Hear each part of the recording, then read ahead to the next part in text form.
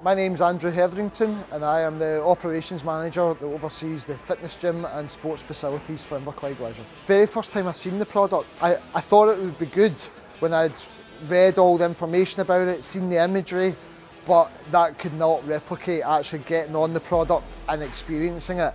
And the first time I tried it, I was actually blown away by it. And that has been the feedback we've received from our members as well. So much so we've had members saying to us that the monthly membership fee is worth it just alone to use the hydro massage.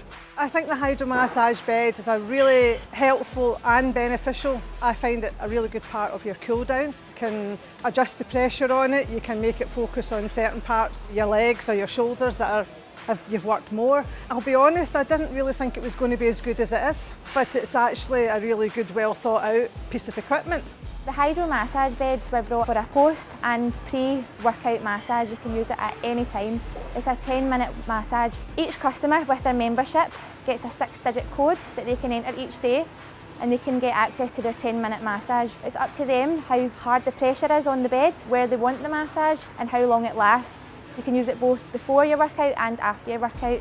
Hydro massage has been brilliant because I've been suffering from a hamstring and an Achilles injury for some time. Prior to starting my workout, I utilise a massage bed every time that I can and I get my 10 minutes in prior to doing my warm-up and doing my exercise. And I can actually feel it, the tender areas of my hamstring, both on my calf muscle and my hamstring on my thigh. The hydro massage has become an integral part of my training routine now. So much so I, I, did a session yesterday and when I was on at the end of my session I said to one of my colleagues, what, what did I actually do before we had these now? It's just an integral part of my session now.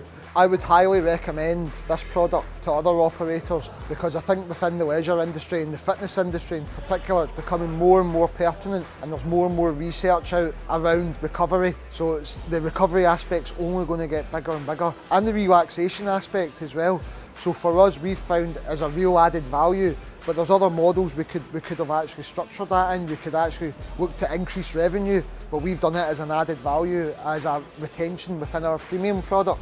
Um, but for us, you know, we, we're planning now on rolling this out across more facilities.